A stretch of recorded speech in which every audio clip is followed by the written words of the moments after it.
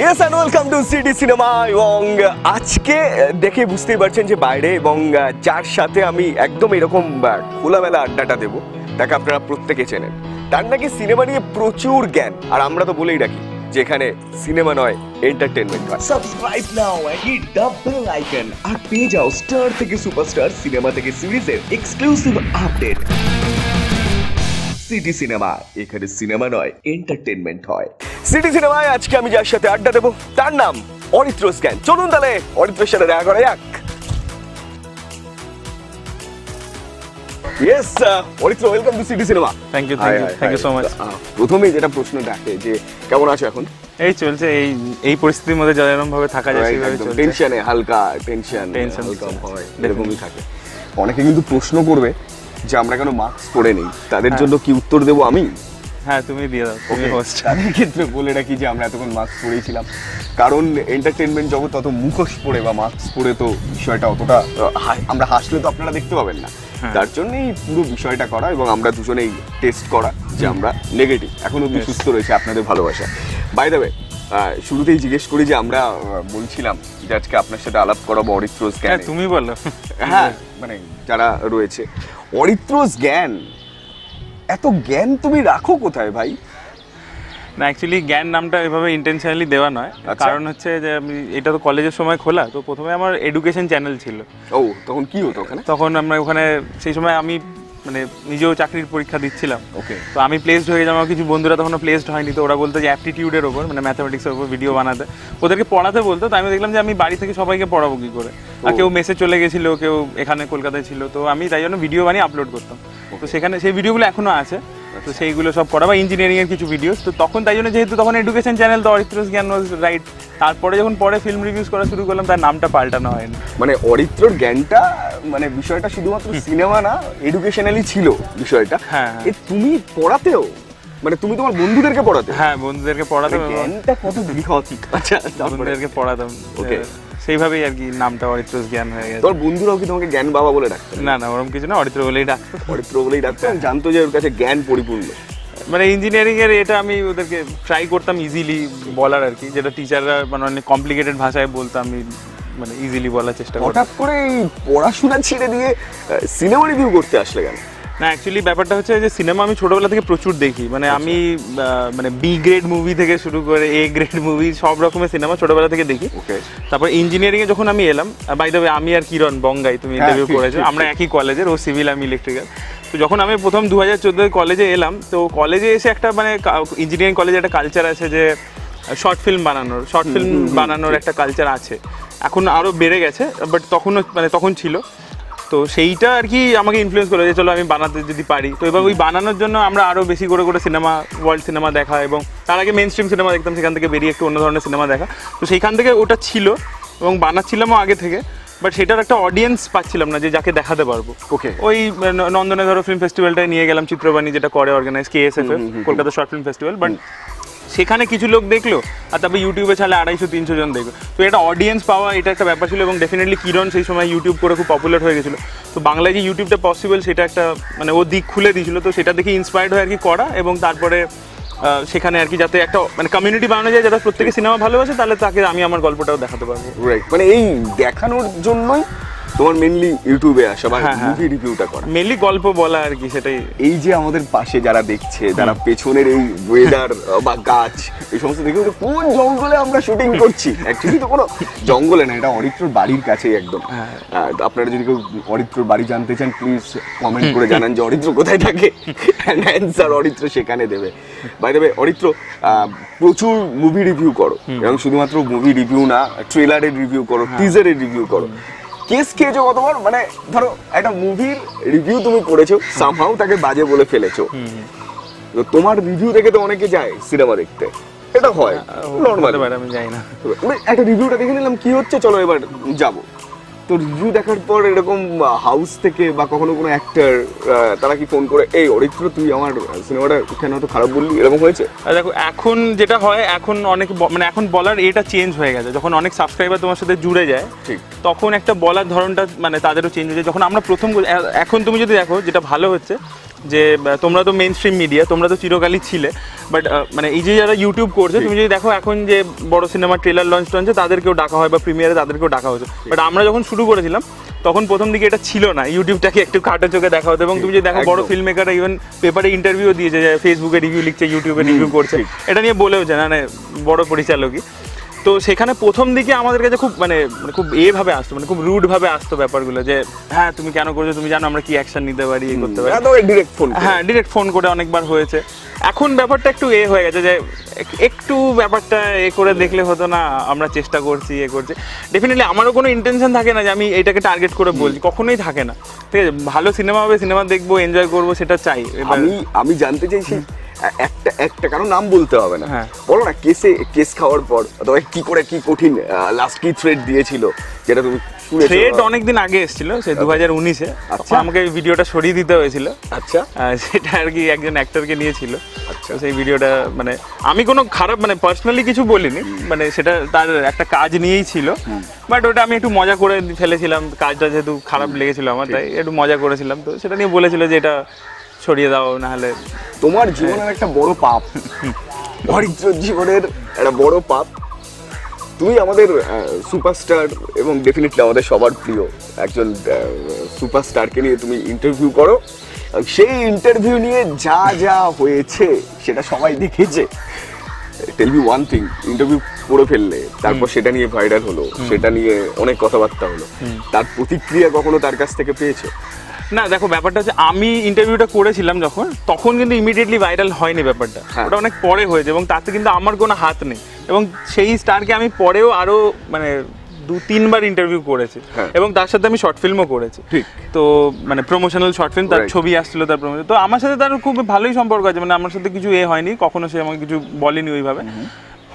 তার এক ধরনের মানে সে এই অনলাইন মানে ট্রোলিং এর ব্যাপারটা তার ভালো লাগে না বা উই শুড রেসপেক্ট দ্যাট তো সেটাই আর কি ব্যাপার যে না ওরকম কোনো হার্ড কিছু রিয়াকশন পাইনি তার মানে আম- যা ভাইরাল হয়েছে বা হ্যাঁ। যেটা হয়েছে সেটা তোমার দর্শক বা যারা ইউটিউবারের দর্শক হ্যাঁ। তারা যা করার করেছে সেখানে হ্যাঁ। তোমার কোনো হাত না আমার কোনো হাত ছিল না তোমার তো অনেক হাত ছিল তোমার অনেক হাত ছিল অনেক কথা ছিল স্কুলে তো স্কুল জীবনে অরিত্র অনেক চেষ্টা করেছে বহু বহু মেয়েদেরকে অনেকবার প্রপোজ করার পর শেষ মেশ আলটিমেট একটা সাকসেস হয়েছিল রাইট হ্যাঁ মানে অ্যাকচুয়ালি ক্লিয়ার করে দিই না আমি বলছি প্রথমে একদম প্রথম আমার যে মেয়েটাকে পছন্দ ছিল মানে স্কুলে? হ্যাঁ হ্যাঁ। স্কুলে তো কোন class তোমার? ক্লাস সিক্সে ছিল।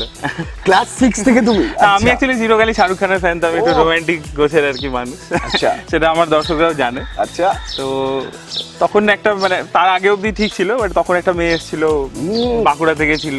হ্যাঁ। কলকাতার ছিল না ও এসেছিল আমাদের স্কুলে কাজলের মতো হ্যাঁ তো আমি তখন ভেবেছিলাম যে আমি শাহরুখ ও কাজল এরকম ভেবে ট্রাই করেছিলাম এবং সেটা বেশ কিছু বছর ধরে ট্রাই মানে করেছিলাম। ক্লাস সিক্স থেকে ক বছর। Up to ten class six থেকে টেন অব্দি ট্রাই করে গেছো? হ্যাঁ হ্যাঁ কাইন্ড অফ মানে কতবার এর মাঝখানে তো প্রচুরবার প্রপোজ করেছ? হ্যাঁ ওই ডাইরেক্টলি ইনডাইরেক্টলি ও আমার অ্যাকচুয়ালি খুব ভালো বন্ধু হয়ে গেছিল। যখন আমরা বুঝলাম যে মানে যখন আরও ম্যাচুরিটি এলো তখন বুঝলাম যে না এটা ওয়ার্কআউট হবে না কিছুতেই। তখন আমরা বন্ধু হয়ে গেছিলাম. বাট সেইভাবে আর কি। আর তারপর স্কুল লাইফে আবার একজনকে? হ্যাঁ স্কুলে তারপরে ইলেভেনে আসার পরে। ইলেভেনে আসার পর তারপর রানী মুখার্জি এলো। হ্যাঁ রানী মুখার্জি এলো। ইলেভেনে আসার পরে তাকে প্রপোজ করে সে তো আছেই এখন। না না সে তারপরে আবার চলে গেছে। সে এখন এখানে থাকেই না কলকাতাতেই থাকে না সে বিদেশি? বিদেশি না মানে সে আগে এখানে থাকতো সে মানে বাঙালি নয় নন আচ্ছা। বেঙ্গলি পাঞ্জাবি আর কি। ওরে বাবা। আমরা আমি আমি খালসা মডেলে পড়েছি পাঞ্জাবিদের স্কুল সেখানে থাকবে। তো এখন সে এখানে থাকে না যে বাইরে থাকে। ও চেক দে ফান্টা। ক বছর চলল সেই প্রেমটা? সেটা ওই দু আড়াই বছরই চলে যেত। ক্লাস ইলেভেন থেকে টুয়েলভ টুয়েলভ তারপরে পরেই কলেজটা অব্দি যায়নি? হ্যাঁ না কলেজ অব্দি যাইনি আর। কলেজে গিয়ে আবার? কলেজে গিয়ে যে হয়েছে সে এখনও আছে। ও হুম হুম। কলেজে গিয়ে হলোটা কি করে? ওইটা আবার মানে কলেজে গিয়ে যেটা হচ্ছে কলেজে গিয়ে একটু মানে ধীরে পেসে হয়েছে। মানে আমি যেটা বুঝতে পারি পরে রিয়েলাইজ করেছি যে তখন আমি যেগুলো করেছি ওগুলো হচ্ছে যে মানে আমি যেহেতু সিনেমা দেখি তাই সিনেমা সিনেমাতে খুব ইনফ্লুয়েন্স আমি ভাবতাম যে আচ্ছা এই মেয়েটাকে দেখলাম। বেশ পছন্দ হয়ে গেল। এর মধ্যে একটা কিছু ম্যাজিক আছে কিন্তু actually love at first sight বলে কিছু হয় না। ধীরে ধীরে বিশ্বাস করো। না? আমার মনে হয় যে ধীরে ধীরে মানে লাভ এট ফার্স্ট সাইড হলে তোমার ওটা বেশি দিন আমার মনে হয় লাস্ট করবে না কারণ এই জ্ঞানটা একটু ওদিকে ফিরে দাও। হ্যাঁ জ্ঞানটা ওই দিকে ফিরে দিচ্ছি কারণ যখন তুমি কারোর সাথে প্রথমবার দেখা করছ তুমি তার বেস্ট ভার্সনটা দেখতে পাচ্ছ। ওকে ও আর যখন বাট তোমাকে তো যার সাথে তুমি রিলেশনশিপে থাকবে তার ওয়ার্স্ট ভার্সনটার সাথে তোমাকে ডিল করতে হবে তাই জন্য তোমাকে মানে উইথ একটা টাইম স্প্যানের সাথে দুজন দুজনের সাথে সময় কাটালে সে তখন তোর চতুর্দিকে ভালো জ্ঞান আছে কিন্তু। মানে থ্যাংক ইউ এরপরে আমি ভাবছি আরেকটা চ্যানেল খুলবো যেখানে আমি লাভ জ্ঞান দেবো মানে সত্যি মানে এটাতে আরও বেশি সাবস্ক্রাইবার হবে লাভ। নিয়ে অনেকের লোকসান আছে মানে লাভ নিয়ে অনেক প্রশ্নও আছে। লাভ নিয়ে কিন্তু অরিত্রর প্রচুর জ্ঞান আমি যে এই যে তোমাকে বারবার করে বলছি অরিত্র তোমার প্রচুর জ্ঞান আছে জ্ঞান আছে তুমি কিছু মনে করছ না না না না না। বিকজ তুমি অরিত্রস জ্ঞান। তোকে আমি এটা বলতেই পারি। হ্যাঁ। কেন? বাড়িতে জানে? মানে বাড়িতে তোমাকে এই নামটা নিয়ে কিছু বলে না? অরিত্রস জ্ঞান। লোকজনের কাছে। ফ্যামিলির কতটা সাপোর্ট পাও? ফ্যামিলির সাপোর্ট বলতে যখন ইনিশিয়ালি পাইনি মানে অ্যাকচুয়ালি বাড়িতে আমি আমি দোষ দিই না কাউকে কারণ আমাদের মা বাবাদের সময় বা আমাদের যারা গার্জেনরা আছে তাদের সময় ব্যাপারগুলো আলাদা ছিল এই জিনিসগুলো ছিল না। একদম। তারা প্রথমে বুঝতে পারে না। ডেফিনেটলি এখন যখন এই ধরো শর্ট ফিল্ম টর্ট ফিল্ম হচ্ছে হ্যাঁ, হচ্ছে তো তখন দেখেছে হ্যাঁ, ছেলে একটা কিছু করছে। হ্যাঁ হ্যাঁ। ছেলে একটা কিছু করছে। এবং তার সাথে সাথে আমি তাদের যে রিকোয়ারমেন্টগুলো মানে যে একটা পড়াশোনা করবে একটা ডিগ্রি থাকবে একটা চাকরি থাকবে সেগুলো মেনটেন করে রেখেছি। চাকরিটাও তো মেনটেন করে রেখেছো। তুমি হ্যাঁ, হ্যাঁ। কোথায় জব করো? মানে আমার মনে হয় অনেকেই তোমার যারা ভিউয়ার্স যারা দর্শক অনেকে হয়তো জানেও না। আচ্ছা না বেশিরভাগ জানে আমি অনেকবার বলেছি আমি অ্যাকচুয়ালি ইঞ্জিনিয়ারিং করেছি ইলেকট্রিক্যাল তারপরে আমি টাটা কনসালটেন্সি সার্ভিসেসে টিসিএস আর কি জব করি আর কি। বা গার্লফ্রেন্ডের তো দু হাত দিয়ে ভরপুর সাপোর্ট আছে। হ্যাঁ হ্যাঁ। তাই তো? গার্লফ্রেন্ড কখনো কোনো মানে ধরো কোনো কন্টেন্টে ও তোমাকে সাপোর্ট করে তো মানে কন্টেন্ট বলো সেখানে ইনফরমেশন বলো। না অ্যাকচুয়ালি ব্যাপার হচ্ছে যে ও সিনেমা নিয়ে এতটা বেশি ইয়ে না সিনেমা দেখে বাট এত বেশি মানে মানে ইয়ে নয় মানে ক্রেজ নেই সিনেমা দেখা তো ও আমার মানে চ্যানেলের মধ্যে কোনো ইন্টারফারেন্স করে না যে কারণ ওর এতটা মানে নলেজ টলেজ নেই সিরিয়াসলি বলবে. এবং ও ইন্টারফেয়ার করে না। তো আর আমিও ওর কাছে ইন্টারফেয়ার করি না। অরিত্র আমাদের অনেক প্রশ্ন থাকে। যে অরিত্র দিনে কটা করে সিনেমা দেখে? যে সিনেমার জন্য এত জ্ঞান। মানে দেখো আমি তোমায় ক্লিয়ার পড়াশোনা করলে আমাদের জ্ঞান বাড়বে। সিনেমা নিয়ে রিভিউ দিচ্ছ তার মানে তোমাকে সিনেমা দেখতে হবে। হ্যাঁ। শুধু তো বাংলা দেখলে হবে না হিন্দি তোমার হলিউডের হ্যাঁ। সিনেমাও দেখো তুমি। দিনে কটা সিনেমা দেখো? ডিপেন্ড করে এবার তিনটে দেখেছি তিনটে সিনেমা চারটে সিনেমা। মানে আমি হলে গিয়ে দেখছি বলছি ম্যাক্সিমাম চারটে সিনেমা অবধি আমি দেখেছি মানে একদিন একদিনে? হ্যাঁ। একদিনে চারটে সিনেমা এটা মানে কন্টিনিউ ছিল নাকি ওটা কন্টিনিউ ছিল কারণ আমি তখন বলছি দু সালে পুজোর সময় তুমি যদি দেখো বাংলাতে পাঁচটা মনে হয় সিনেমা রিলিজ করেছিল। পাসওয়ার্ড ছিল গুমনামি ছিল মিতিন মাসি ছিল আর হিন্দি থেকে ওয়ার ছিল আর বোমকেশ ছিল। ছিল, তো বোমকেশটা আমি পরের দিন দেখেছিলাম। আর জোকার ছিল ওইটা পরে দেখেছিলাম। বাকি এই যে চারটে পাসওয়ার্ড মিতিন মাসি গুমনাম সব একদিনে। এবং আমি মানে জয়াতে দেখছিলাম জয়াতে সবকটা শো ছিল বেরোচ্ছিলাম একটা করে পাবলিক রিয়াকশন নিচ্ছিলাম উড়ে তেরি। আহ, মানে এর আছে ভিডিও আছে মানে এরকম নয় যে এগুলো হোক্স যে আমি বলি আর দেখি না। ঠিক। মানে এটা তো মানে শুধু দেখা না আমাকে মাথায় স্টোর করে রাখতে হয় যে আমি এটা এইভাবে দেখেছি এটাতে এই ক্যারেক্টার আছে। হ্যাঁ সেটা আর কি হ্যাঁ। মানে স্টোর করে রাখা মানে তখন আমি যেটা ফিল করেছি আমি সেটা বলার চেষ্টা করি ভাষার থ্রু দিয়ে। তোমাকে দেখে বহু অনেকেই চ্যানেল করেছে। তারাও এরকম অরিত্রস জ্ঞান না হলেও তারাও ছোটখাটো জ্ঞান দেয়। মানে কি? মানে ট্রেলার নিয়ে বলো রিভিউ নিয়ে বলো সিনেমা দেখার পরে বলো। কিন্তু এই যে রিভিউ আমার সাথে দর্শক যারা ওই প্রান্তে দেখছে তারা একমত হবে যে তোমার ট্রেলার বেরোলো তার একটা রিভিউ তুমি দিলে তারপর সেটা আমরা জাজমেন্টাল হয়ে যাই। হুম। যে তো এটা বলেছে বা সিনেমা দেখতে যাওয়ার আগে তোমার রিভিউটা একটুখানি দেখে নিলাম তাহলে অরিত্র এটা বলেছে এই এই যে তুমি খুব চটজলদি একটা সিনেমার সাথে আরেকটা সিনেমার একটা লিঙ্ক করিয়ে দাও। আমি এটা লিঙ্ক মানে তুমি কপির কথা বলছো? হ্যাঁ যে তুমি হয়ে যায় না ধরো আমি একদম সাদা মাঠে একটা দর্শক আমি জানি না যে হলিউডে এরকম একটা সিনেমা হয়েছে। বা বলিউডে এরকম একটা সিনেমা হয়েছিল যে সিনেমাটা থেকে একটু ধার করে এখানে সিনেমা করেছে। তুমি সেটা একদম পুঙ্খানুপুঙ্খ চোখে আঙ্গুল দিয়ে দেখিয়ে দাও যে এখানে এটা ছিল এটা এখানে করা রয়েছে। তো আমার মনে হয় না নতুন কোনো ক্রিয়েটিভিটি হয়েছে বলে এখানে। তো আমার এই সিনেমাটা এরকম মনে হয়েছে। কোথাও গিয়ে কি তোমার মনে হয় অ্যাজ এ বাংলা দর্শক বা বাংলা অডিয়েন্স হিসেবে কোথাও এটা সামাও হার্মফুল হয়ে যায় বাংলা ইন্ডাস্ট্রির জন্য? দেখো এবার তুমি যদি বলো তাহলে বলিউডের ক্ষেত্রেও তো বলিউডের যে ক্রিটিকরা আছে তারাও তো এই জিনিসটা পয়েন্ট আউট করে। ঠিক। যারা সাউথে যারা ক্রিটিক আছে তারাও পয়েন্ট আউট করে। তো তাহলে তাদের তো কই ইন্ডাস্ট্রি থেকে বলছে। ডেফিনেটলি সব জায়গাতেই আমি কিন্তু কোনো ইন্ডাস্ট্রি থেকে বলছি না। না আমি বলছি এবার ব্যাপারটা হচ্ছে যে তুমি যে বলছো যে ধার করা ব্যাপারটা কিছু দেখো জিনিস হয় যেটাকে বলে আমরা যে জনরা ট্রোপ ঠিক আছে যে একটা ধরো একটা থ্রিলার গল্প তুমি বলছো তোমাকে এইটা এবার এটার পরে এটা করতে হয় এটা একটা প্যাটার্ন আছে। ঠিক।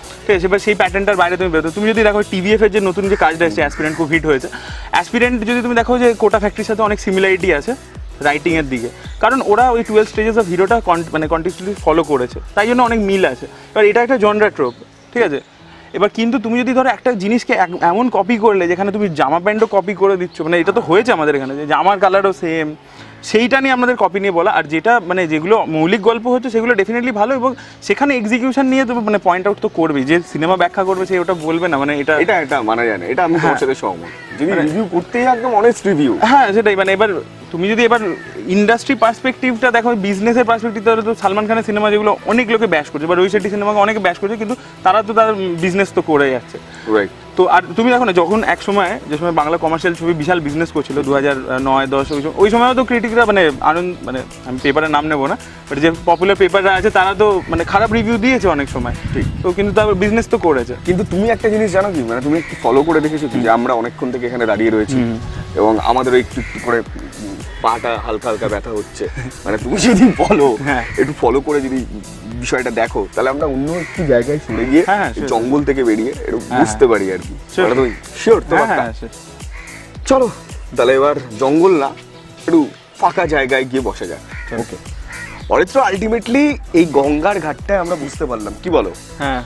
মানে এটা কি তোমার বাড়ির সামনের ঘাট? হ্যাঁ বাড়ি আমার এখান থেকে পাঁচ মিনিট।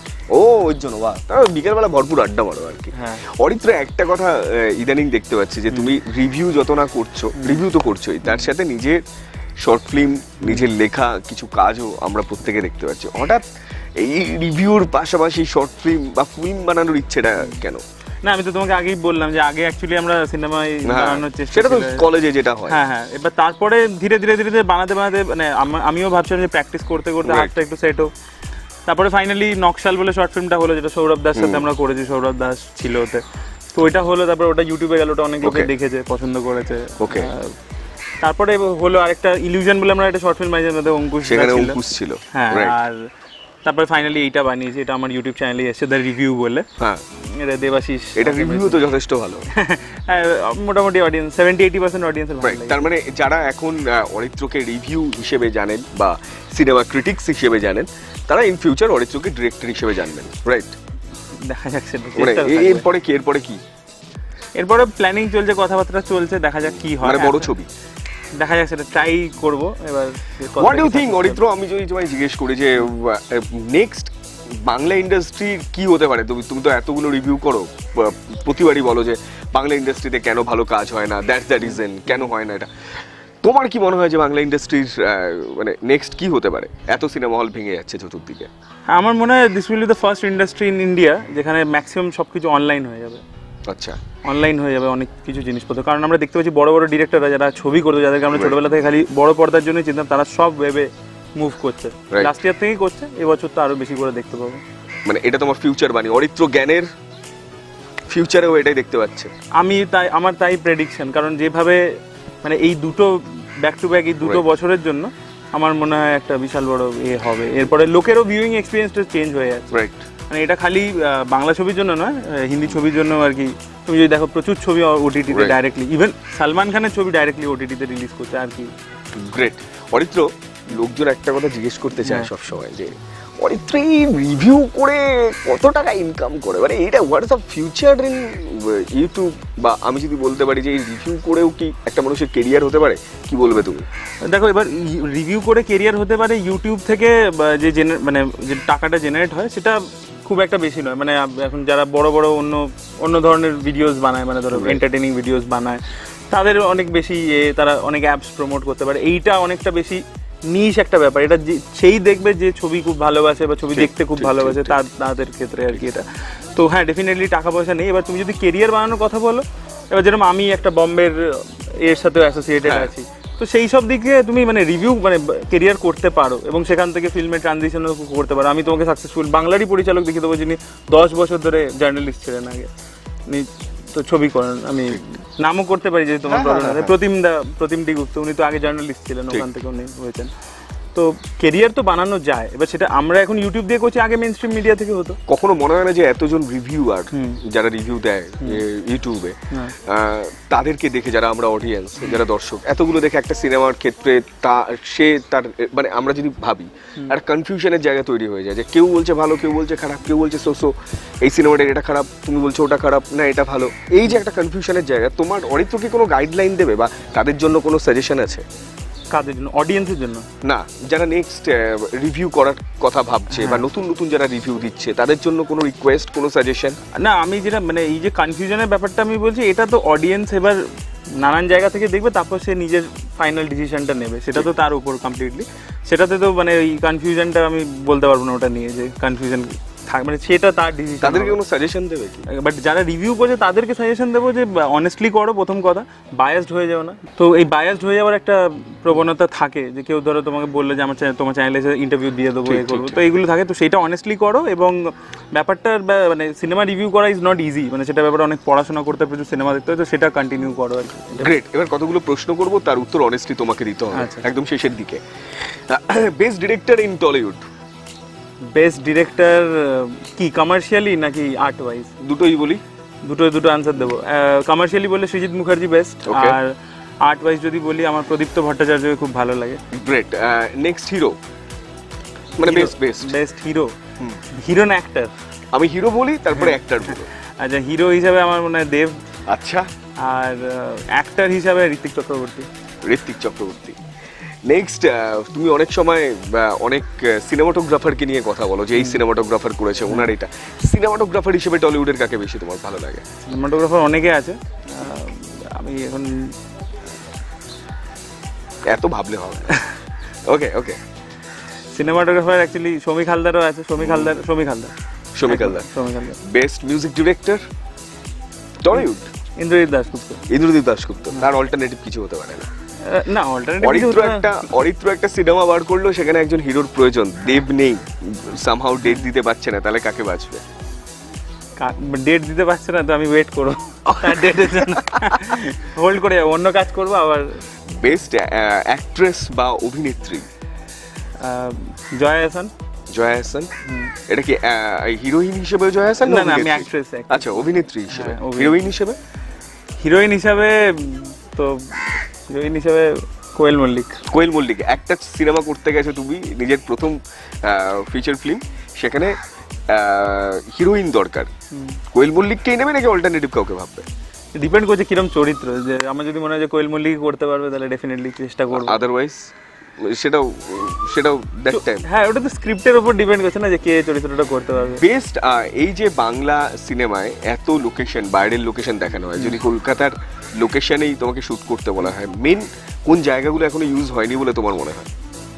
কলকাতায় আমি সবচেয়ে প্রথমে যদি আমি- যদি করি কিছু কাজ তাহলে আমি প্রথম কথা হচ্ছে যে ক্লিশের লোকেশনগুলো যেরকম এই গঙ্গার ঘাট ট্রাম লাইন ময়দান এইগুলোকে আমি অ্যাভয়েড করব। আচ্ছা। আর আমি কিছু নতুন লোকেশন ইন্টারেস্টিং খোঁজার চেষ্টা করব। এবং অনেক আছে আমার মনে হয় ইন্টেরিয়ারের ভিতরেও আছে অনেক লোকেশন আছে। সেগুলো এখনও রিভিল হয়নি। রিভিল হয়নি। সেগুলো করতে চাই সেগুলো এরকম আরও অনেক কিছু রিভিল হবে। মানে তোমার হাত ধরে হবে। এবং সেটা নিয়েও আমরা ডেফিনেটলি আড্ডা মারবো। Aritra thank you so much বহুদিন মানে আমি নিজেও অরিত্রর কাজ দেখি। জ্ঞান শুনি। মানে jokes but but I am truly আমার খুব ভালো লাগে। প্রথমবার আমি তোমার ইন্টারভিউ নিয়ে আমার নিজেরই খুব ভালো লাগছে। থ্যাংক ইউ তোমার কেমন লাগল? আমার খুবই ভালো লাগল সিটি সিনেমাকে ধন্যবাদ। আমার নিজের বাড়িতেও সিটি কেবলেরই ইন্টারনেট আছে। ওকে এবং আজ থেকে নয় প্রথম থেকেই আছে। ওকে আর তুমি সিটি সিনেমা দেখো? হ্যাঁ আমি সিটি সিনেমা দেখি এবং আমার ভালো লাগে। ঠিক। আমি অনেক ইন্টারভিউ দেখেছি। তোমাদেরও অনেক ইন্টারভিউ ভাইরাল হয়েছে সেগুলো আমরা দেখেছি। এবং আমার খুবই ভালো লাগে। তো আমার খুব ইন্টারভিউটা দিয়ে ভালো লাগল। আমি আসলে তোমার ফোনে যখন গলা শুনেছিলাম আমি বুঝতে পারিনি যে এ কে কে কে? কি মনে হচ্ছে? না না তোমার অ্যাকচুয়ালি ভিডিওর মধ্যে তুমি যেভাবে কথা বলো আর ফোনে তুমি পুরো অন্য রকম ভাবে খুব আস্তে কথা বলো আমি কে? তুমি আমি তোমার নামটা জানতাম না সিরিয়াসলি ঠিক। তো তারপরে দেখলাম আচ্ছা যাও তুমি তুমি আর তোমাকে ওকে ভালো লাগল খুব কথা বলে। Thank you so much Aritra এরকম আরও ইন্টারেস্টিং আড্ডা দেখার জন্য আপনাকে দেখতে হবে। সিটি সিনেমা আর যদি এটা ভালো লেগে থাকে প্লিজ সাবস্ক্রাইব করুন। কেমন লাগল এই আড্ডা? কি কি নতুন জানতে পারলেন? কাদের আড্ডা দেখতে চান? কমেন্ট বক্সে কমেন্ট করে জানান। এই টলিউডের সব লেটেস্ট আপডেট গসিপ এবং এন্টারটেনমেন্ট পেতে সাবস্ক্রাইব করুন সিটি সিনেমা আর ফলো করুন সিটি সিনেমার ইনস্টাগ্রাম টুইটার ফেসবুক এবং শেয়ার চ্যাট পেজ